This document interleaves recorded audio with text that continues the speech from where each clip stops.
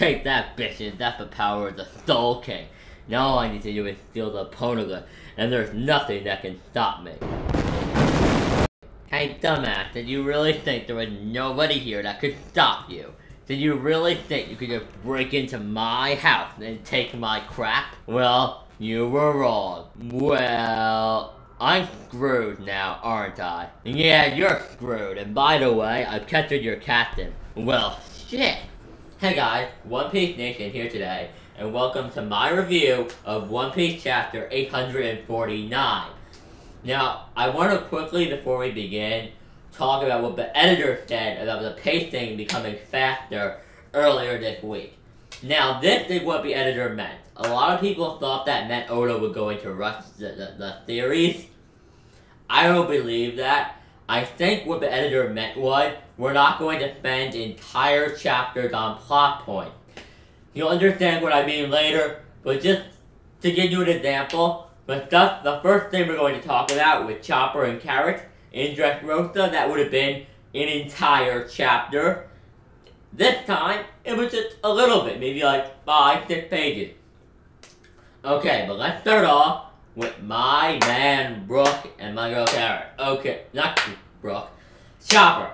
Okay, so this week, Chopper and Carrot went in. So it revealed that uh, the carrot that was hanging over the pot isn't even the real carrot. It's just a version of carrot that was created by Brulee, one of the fakes. They're using Brulee's own fake carrot to trick Brulee and um, Carrot is just hiding in the ceiling above, making noises, like talking, like, oh no, oh no, don't drop me. Which is really interesting. I really like that. That was a twist, and I did not see that coming. I was expecting something like Chopper was gonna need to save Carrot, but that's not what happened. Carrot jumps down and she goes in. This is the reason I've been saying it for a while. If anyone is going to join the crew, which I don't think anybody will, Carrot need to join. Carrot must join this crew. Carrot is amazing.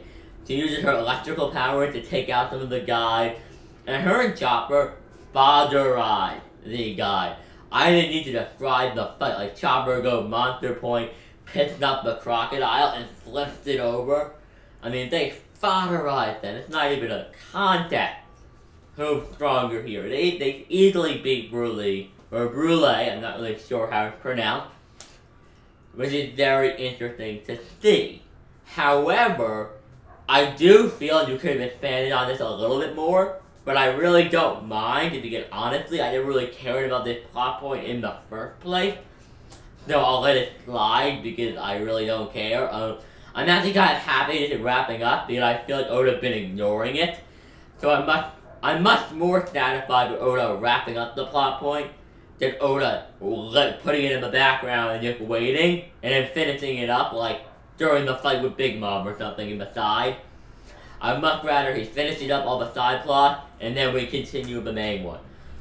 So they then take her mirrors, and they now have the ability to use the mirrors to get anywhere on Whole Cake Island or in Totto Land pretty much instantly. Which will also help speed up the pacing, obviously. Because if they go they, this way, there won't be any running around. One of the biggest complaints with Dressrosa was, of course, that they were just running. Like, I had to, I love One Piece, but there were chapters of Dressrosa that was just Luffy running in circles because he kept on getting knocked off the plaza and couldn't fight Doflamingo. It was really annoying. So the fact that they don't need to walk and run around anymore is amazing. Now let's talk about Brook. So Brook is winning his fight with a guard. He fought some girl with like braids in her hair I mean, like, she looks decently powerful, but she wasn't that memorable. Because Brook just, he one-shot her. He one-shot everybody he fights, which is very impressive because we don't see Brook fight a lot, and when we are seeing him fight, he's fatherizing everybody. It's like, this guy, Brook is like really impressive. Why is he not fighting more? I may need to reconsider my opinion about Brook because he is being immensely useful for once. Now, of course, this is not normal. Brook is almost always useless and weak as hell, but, you know, or making it more relevant and stronger. I'll give you that to all you Brook fans who constantly disagree with me about my opinion on Brook. But so he just one-shotting them, and he, and he talked about how he cannot allow himself to fail because he made Pedro the bait. And don't worry, we're going to talk about Pedro. But so he's just fighting, and eventually, Big, I think Smoothie mentioned it to Big Mom, like, don't you want to do something that's intruder? And she's like, you know what? Screw it, you're all incredibly incompetent. So instead of having one of the Sweet Commanders handle Brook, she just goes in and she's like, why are you trying to ruin my day, man? And Brook is just like, Big Mom, and it cuts off there. Now, my opinion on that, I'll be completely honest with you, Brook is dead. He's doomed. He's done. He's gonna get captured. There's nothing he can do. Luffy can barely touch Cracker. Luffy needed Nami's help to beat Cracker. This is Brook, and his opponent right now is Big Mom. There is no debating who's going to win this fight. There is no what if. There is no possibility. Brook is going to lose and be captured. There is no getting away. There is no escaping. Brook is done. And then Yonko, I'm sorry to any Brook fans who think you can get out of it. You're really needing your head damaged because this is Yonko. This is somebody that pretty much told Sanji, I can kill anybody in the world I want with just a word. I mean, this, this is a woman that had taken out an entire pirate fleet by herself just because of her sheer power. This is not somebody to mess around with. The Brook is dead. Now, we, we, we do get a little bit of Pedro in this chapter, and we get some interaction between him and Tagoma. We learn that, one, he's an ex-captain of the pirate crew. I forgot the name. It was like the Nox pirate, the Nox pirate or something. But he's the ex-captain. And him and Peg Togoma had some kind of past. But what we did learn in this chapter is that Pedro used to care about his life tremendously. I assume he was like, not like Usopp kind of a scaredy cat, but he was like always thinking, how can I make sure I survive this? Surviving is the most important thing. And what I think happened, if I'm going to be honest with you guys, what I think happened is I think Pedro did something really stupid. Well, we know he did something stupid. He came to Whole Cake Island, he tried to get the poneglyph, he did something. Whatever he did, it was more than stealing the poneglyph because he pissed off Big Mom. He pissed off Big Mom so much that she took away 15 years of his life and he openly admitted in this chapter he will not live to the end of the arc. He is dying. He lost 15 years of his lifespan. He doesn't have much time left and he's going to die. So this is my opinion on the matter. I think Pedro is going to die. I'm not one of those people that goes out and says, this character will die this arc, this character will die this arc, this character will die, this person gonna die. You know, One Piece doesn't kill characters. They've only killed two characters in the present timeline. Yes, they kill characters in flashback, but it's very rare for Oda to kill a character in the present. He's only killed Blackbeard and Ace. But honestly, I don't see how he can survive. It isn't like a battle wound or being screwed over by an opponent. He's just aging. He lost 15 years worth of lifespan. He's just going to die at age. There's nothing anybody can really do about that. I'm sorry unless the only chance they have is survival, and they can somehow get Big Mom to return that to him. I don't see that happening. Big Mom, at this point, in my opinion, is 100% evil, villain, antagonist, not gonna help the crew. I think that theory dead, in my opinion. That theory is dead to me, alright? You still believe it, and you had your reason, good for you. But to me, I, I can't see it anymore. You There was a time where I was like, maybe. Now I'm like, no. But though what we learned is that Tagoma and Pedro, their scars, it appeared they gave each other those scars. How that happened, we don't know. Well, if we will get that information, probably. But I am very curious to how they got those scars. When I, the first thing I thought about watching that scene was like Blackbeard and Shanks. Like, it was like, I don't think they got those scars in an even fight. Something, some bad crap went down and Togoma and Pedro were scarred for life. And yeah, so that's all up with them. We get a little bit with Sanji, where he's cooking for Pudding. Pudding's been gone, she didn't show up for their lunch meeting. And he said she knows Pudding's been depressed, so Sanji being Sanji decides you know what, if I'm gonna be married to this girl, I might as well be a good husband.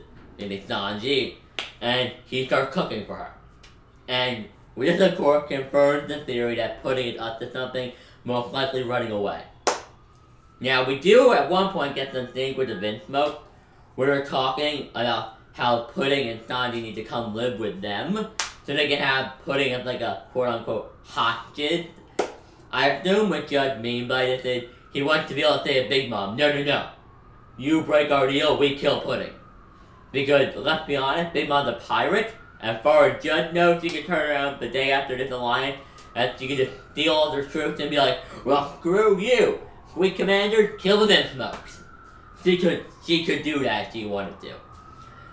So, the last thing I want to talk about, besides the Vinsmoke saying how the Vinsmokes are complete dirtbags, which that's really all it was, but the Vinsmokes just being terrible people, that you can tell they're like, even Yonji's like, I cannot wait for Nani to come live with us. I'm like, oh god, I don't even want to know what Yonji's thinking of doing to Sanji.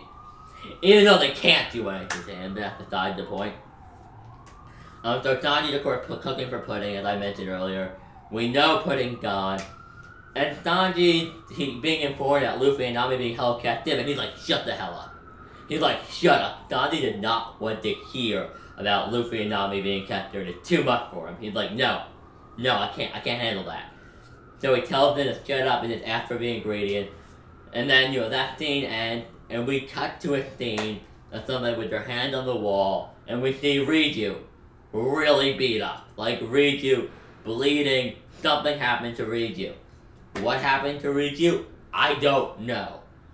Some people are, I've heard, I've seen a couple, I haven't seen a lot of speculation, guys been working on midterm stuff, but I saw a lot of stuff about, um, I saw a lot of stuff about Reiju being attacked by Pudding, a lot of stuff about Big Mom doing this.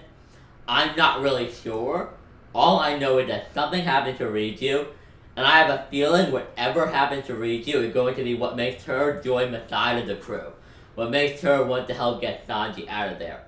Because we Reiju have been she kind of been on a divide this whole time. Like she's been like, yeah, listen, Sanji, I kind of care about you. Like she kind of cared about Sanji, but not really. And it just, it's all really confusing. But she kind of cared about Sanji, but she's so selfish that she's like, I'm not gonna let anyone know I even give a single crap about you because if they knew, they treat me just like they treat you. So Reiju is probably going to be like, you're a guy, and decide to help the crew, or something else happened and maybe we'll turn her against Sanji. That, that would actually be a pretty interesting matchup, like a mini clash between Reiju and Sanji. That would be very interesting, but I still want to see Sanji versus one of his brothers, maybe Sanji versus Judge. If I had to rate this chapter, I'm hesitant to give it a 10 out of 10, solely because I don't really feel comfortable with this new pacing yet. If I had to rate the chapter, maybe like I did 8 out of 10 because it hit all the plot points, but I'm not. I understand the need for the new pacing, and I do appreciate the new pacing, but I'm also kind of like, we're moving a little fast, and I don't love the new pacing, but I can. I understand why, and I'm happy about it, but I also don't like it at the same time. So 8 out of 10 for this chapter of One Piece. Tell me your thoughts on the chapter in the comment section down below. Check out the videos I did on Gear 2nd and Gear 3rd and Gear 4th explained. Link to all those videos will be right when it ends. You'll see the links to those. The link to my Twitter and my Facebook page are in the description box down below. Like the video if you enjoyed. Subscribe for more videos. And above all else, guys, have a great day. Thank God. Now I need to get back to study for midterm. Well, at least there's nothing else I need to worry about, right? Uh, okay.